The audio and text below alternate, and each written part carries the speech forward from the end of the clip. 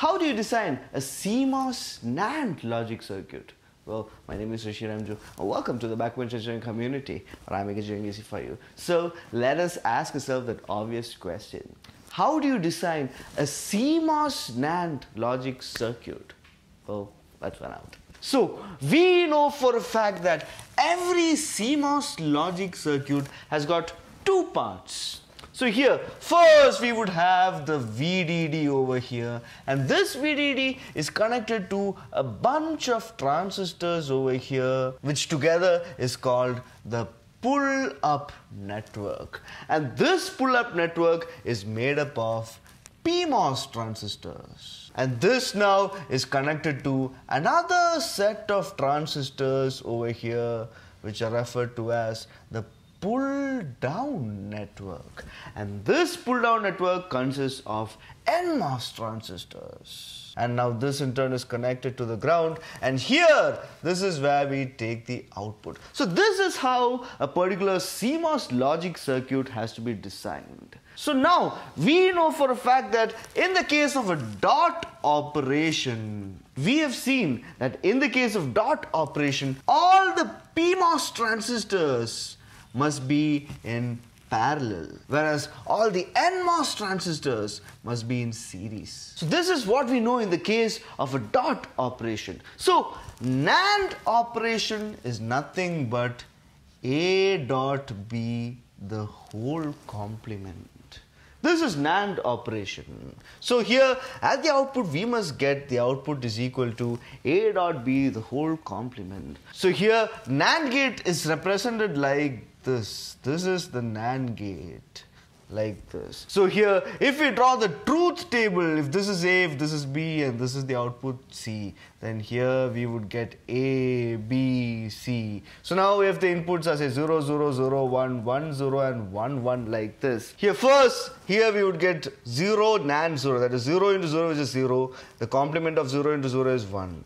Similarly, 0 into 1 is 0, complement is 1. 1 into 0 is 0, complement is 1. But 1 into 1 is 1, complement is 0. So this is the output that we have to get over here. So now, let us now construct this CMOS logic circuit. So first we have the VDD over here. So now, we know that for dot operation, the PMOS transistors must be in parallel. That is, whatever transistors that are there inside this particular pull-up network must be in parallel. So here you would have two parallel PMOS transistors like this. And here we would give the input A and here we would give the input B. So now here we have two parallel PMOS transistors.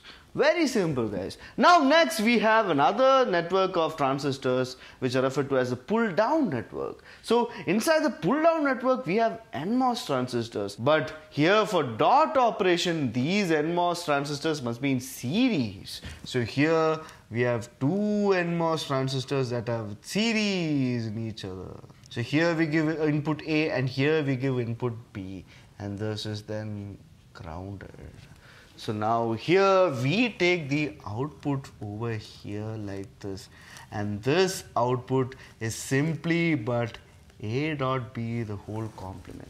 This is because we've seen that whatever output that comes out from here is the complement. So if we rather need a dot b we should just pass this through an inverter from which we would get A dot B. But here, since we have to get A dot B complement itself, we can just take the output over here and thus we would get A dot B complement. Here, this is the source, this is the drain and this is the gate. But here, this is the drain, this is the gate and this is the source. Again, this is the drain, this is the gate and this is the source.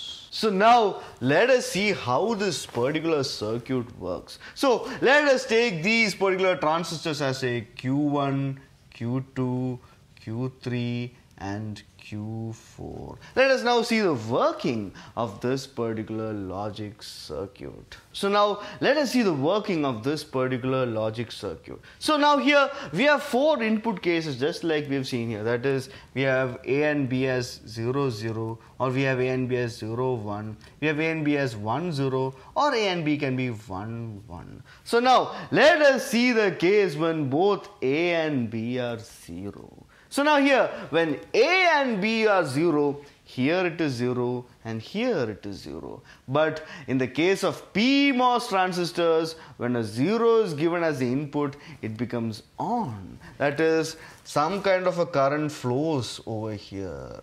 This becomes on. But in the case of NMOS transistors, when we give a 0 over here, this becomes off or it becomes open circuited. So therefore this acts like nothing flows over here. So whatever VDD we are getting that flows like this and it goes out to the output and therefore we get an output 1. Here Q1 and Q2 are on, whereas Q3 and Q4 are off. Very simple, guys, very simple. Next, let us see the case when A is 0 and B is 1. So here, A is 0, so this being a PMOS transistor, this would be on. But when B is 1, this would become off. But here, this is on and this is off. Okay, so now the current can flow like this. Whatever voltage is given here, it can flow like this. And it can be obtained at the output over here. And now here, we have A is 0 and B is equal to 1. So because this is 0, this would be off. So it gets, this particular circuit gets cut off from here itself. So therefore, whatever comes like this, we get it at the output over here. Therefore, getting an output 1. Here, Q1 is on, Q2 is off. Q3 is off, but Q4 is on. But this doesn't matter because since this Q3 is off, from here itself nothing is going down.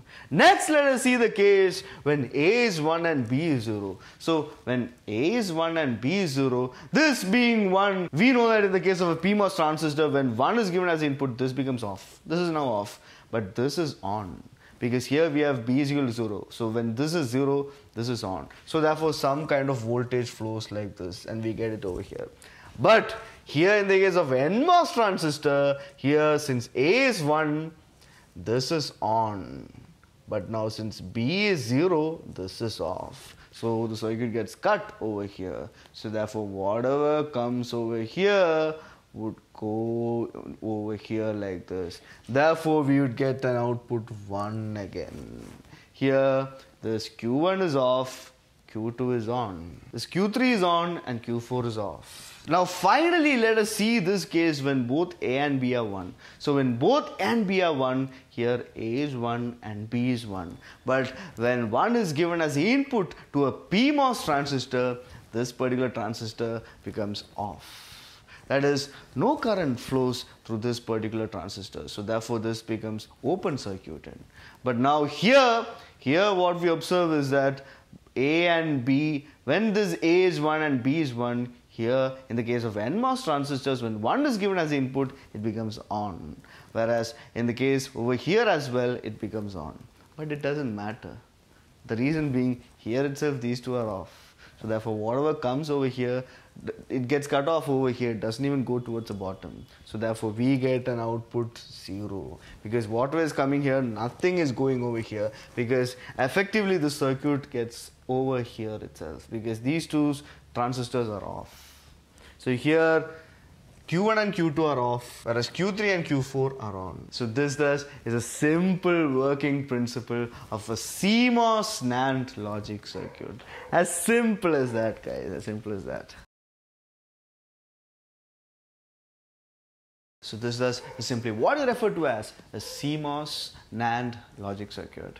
As simple as that, guys. So I hope you guys now have clear understanding of what is referred to as a CMOS NAND logic circuit. And if you guys found this video informative, please do hit the like button and join this community by hitting that subscribe button. We'll be discussing about the further topics in the upcoming videos. So stay tuned, stay subscribed. Until next time, I'll see you guys in the next video. Thank you.